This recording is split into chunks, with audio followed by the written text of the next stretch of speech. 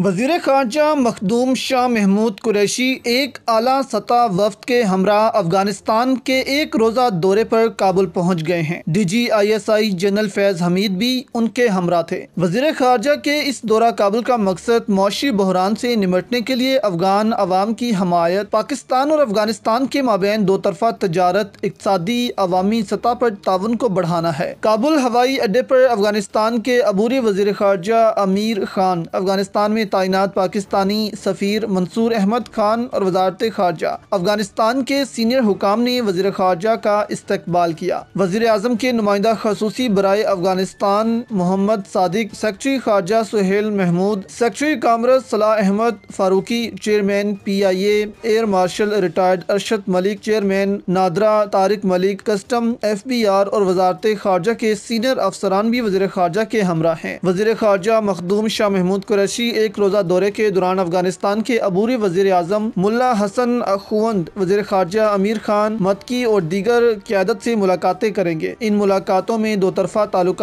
के तमाम पहलुओं, बहमी दिलचस्पी के शोबों, बिलखसूस तजारत में दो तरफा ताउन बढ़ाने के मुख्तलिफ़ तरीकों पर गौर खोज किया जाएगा। वज़ीर खारजा अफगान कायदीन को अफ़गानिस्तान में अमनो अमान के क्याम और आइंदा के लाहे अमल के हवाले से पाकिस्तान के नुक़ नज़र से आगाह करेंगे। इस मौका पर मखदूम शाह महमूद कुरैशी का कहना था कि अफ़गानिस्तान के करीबी बरदर हमसाया मुल्क होने के नाते से पाकिस्तान इलाकई अमन और इसकाम के लिए अपनी भरपूर काविशें बुरकार ला रहा है। पाकिस्तान ने अफ़गानिस्तान के साथ दो तरफा तजारत में सहूलत के लिए बॉर्डर क्रॉसिंग पॉइंट्स में इजाफा किया है। उनका मजीद कहना था कि पाकिस्तान ने कोविड प्रोटोकॉल के तहत अफगान भाइयों की नकलो हरकत और सफरी सहूलत के लिए नई वीज़ा जीम मुतारफ करवाई है। हम अफ़गानिस्तान के साथ तजारत के फ़रोग और कारोबार में इजाफा चाहते हैं।